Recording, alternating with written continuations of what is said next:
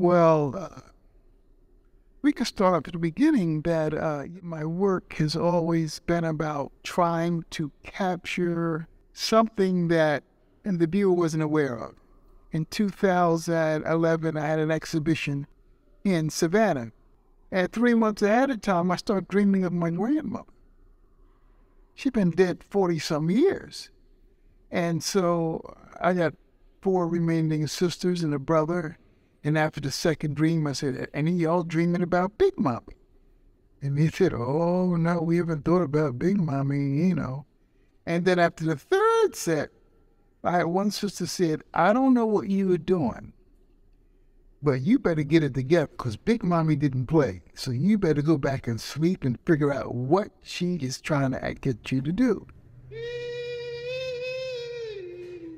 Big Mommy talked to me a lot about cotton stuff. And so, I mean, you know, I, was struggling with it. And then finally I said, and maybe that's the cotton. So I called, got three farmers. The very first one said, yeah, you can come photograph, you know, the cotton. And he said, but you want to photograph cotton? I said, well, I just got back from uh, South Dakota photographing corn. And so I went to start photographing cotton. And that was the first experience for me. I had never seen cotton, raw cotton. I'd never seen it or anything. You know? And so I'll never forget driving this 35 miles outside of Savannah, and I'm saying, I see no black people. I said, Big Mommy, you're not sending me someplace I can't get out, are you? No. And so, uh, so uh, I sort of had discussions with Big Mommy at times, you know. And so, anyway, this particular farmer's daughter had just graduated from art school with a major in photography. I said, now this is too, this is crazy. This is more stuff going on, you know, here. And so then we spent the morning and he took me around and stuff. First introduced me to all his family. He said, well, this property has been in my family for seven generations. And then flipped me out.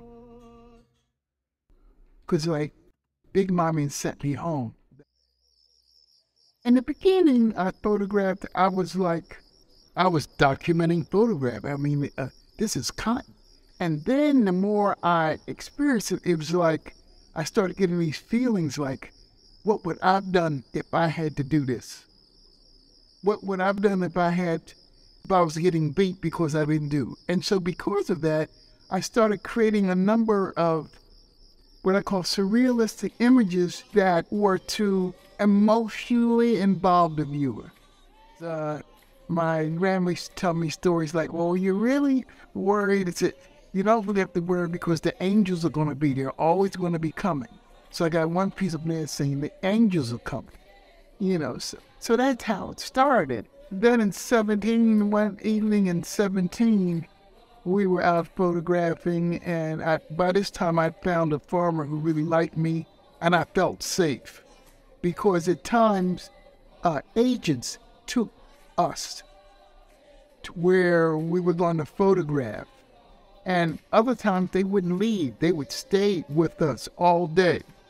You know, so I decided this wasn't so safe for me to be hanging out here doing this, you know what I mean? And so uh, in 17, I told Francis that slaves didn't run away in the daytime. They just couldn't say bye, you know? So uh, in 19, we went back to Hobgood, North Carolina, and I photographed cotton at night. My whole experience in a cotton field is like being a place I've never been before. It's really emotional. I really feel. And it talking about you said talking about the ancestors. For me personally, it's feeling my grandmother and my family. But also I'm aware of it, of reading about the, the ancestors that, you know, we came to this country with a, you know, with a history. We were connected religiously. We came with a lot of education and a lot of things. We were, when we came, connected to our ancestors a lot. I would hope to strike up a curiosity, but more importantly, to investigate how they respond to this. The idea is to get them to be aware of where they are. Wherever they were, wherever they are, it's fine. But you can't go any place if you don't know where you are. I gotta say, here it is, it's out there. You know, I hope I'm not upsetting you, and uh, I hope you get something from this and go. And the next time you see your grandmother, you hug her. Mm-hmm. I don't care who your grandmother is. You hug your grandmother or you hang your, hug your mother and father and you think about them. And you might even investigate their history in the past because that's who you have stood on. Whether you like it or not, you stood on them. Oh, you're getting me started. you're getting me going into my to my Baptist preaching. I don't want to go there. I'm supposed to be cool.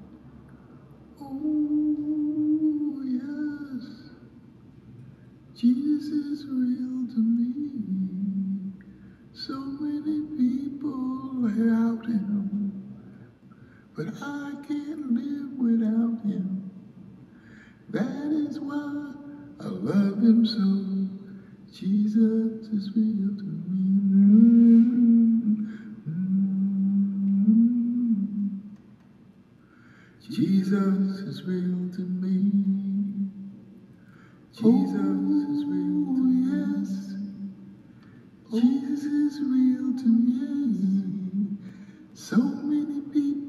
South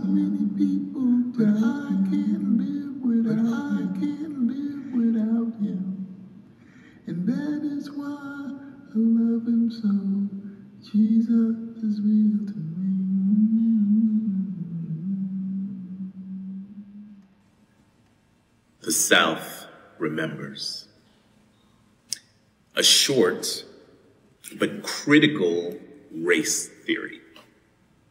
Somewhere there's a man sweating and weeping in the South. The man's labor is an incomplete thought hanging in the mind of the master of the manor. As a matter of Southern manner, the master of the manor has a half memory of the laborer's humanity, leaves the thought hanging there, like weeping cotton, like a supplicant under the lash with no option but to feel the wrath of a pirate obsessed with the theft of the weeping man's dignity. The South remembers the expression of the trees like a child looking away from the doctor's needle who wants to stand there still staring at the blood on your leaves. The South remembers. The cotton weeps. The North, starlit, Harriet, and Scarlet, watch nights and oracles. The master of the manor takes a perverse pleasure in luxury through torture. The laborer will tell you of the fabric that costumed it all, of a dead body as both dance and drum, of a neck new snapped, rhythmic impact gone, swaying with the wind, gone like a dilla kick against a tree trunk. The cotton muffles the sound of its own weeping, cries inaudibly like eye contact between cheaters and keepers of secrets, quiet as a knife while master sleeping in the sheets of enslaved sewing. He reaps Jesus with impeccable spell, with soulful genius, with abundance and fidelity to the soil and what it yields as if fruit can come from God's earth and not feel what its roots have redeemed in some version of American truth. Cotton reaps power from the pores of a powder blue sky. Cotton is a hurricane, swept through and then gone, swept in like a black life and then gone with the wind, gone like the truth of a dark American night.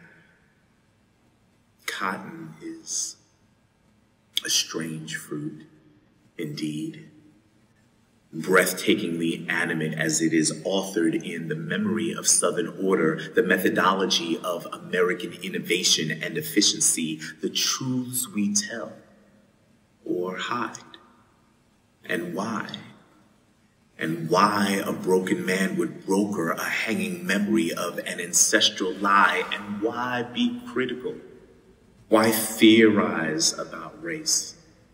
Why not sit still in the window, staring into the void, listening to the muffled sound of cotton as she weeps?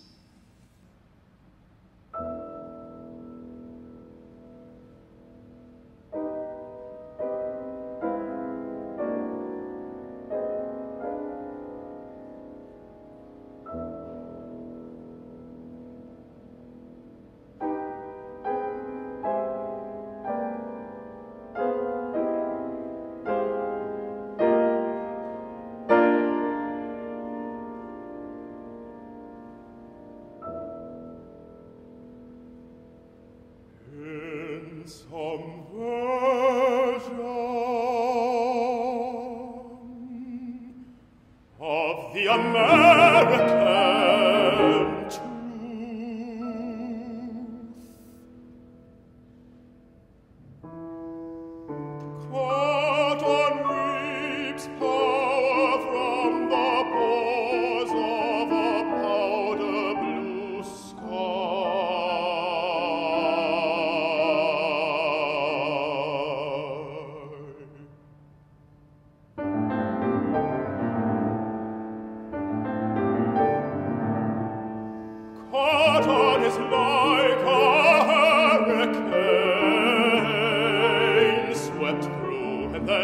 Amen.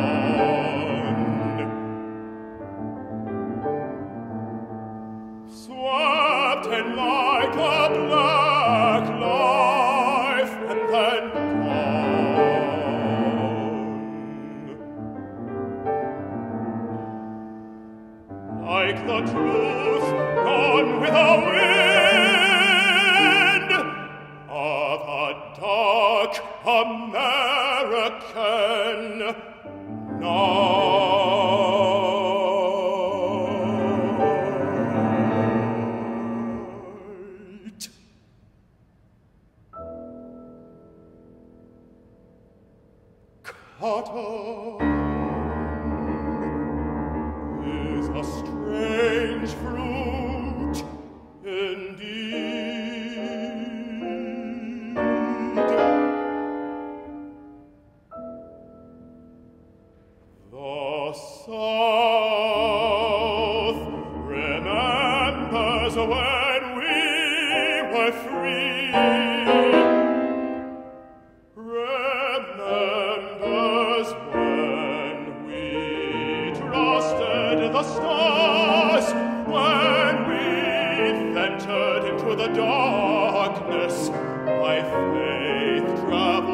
places we go and see.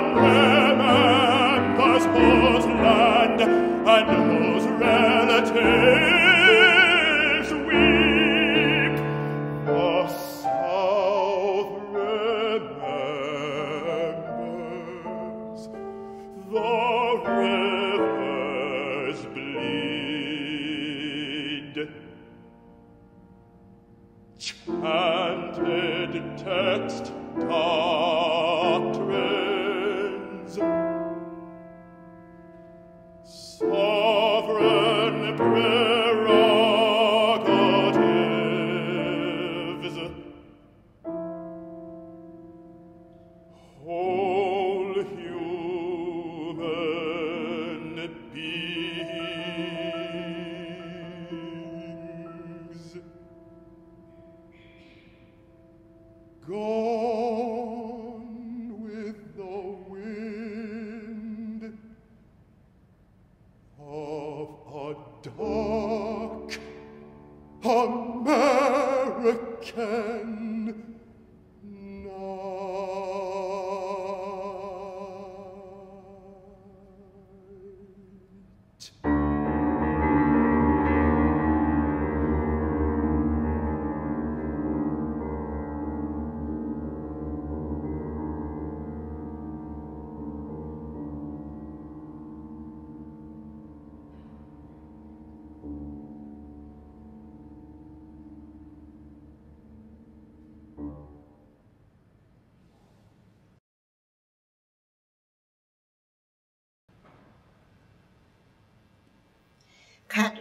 in the arms of mountains. A gentle wind, like a loving granddaughter combing her grandmother's hair, carried her gift to the beginning. We think it's ice, but really it's cotton on the top of mountains built on the bones of those who came before. A gentle wind blowing white hair off grandmothers, up and up and up, settling in the arms of grandfathers who were lynched or whipped or shot, but always looking at grandmothers to reflect in their eyes the love. A gentle wind carrying the white hair to the waiting arms. We call it glacial. We call it ice. We should call it cotton, resting in the arms of our great mountains.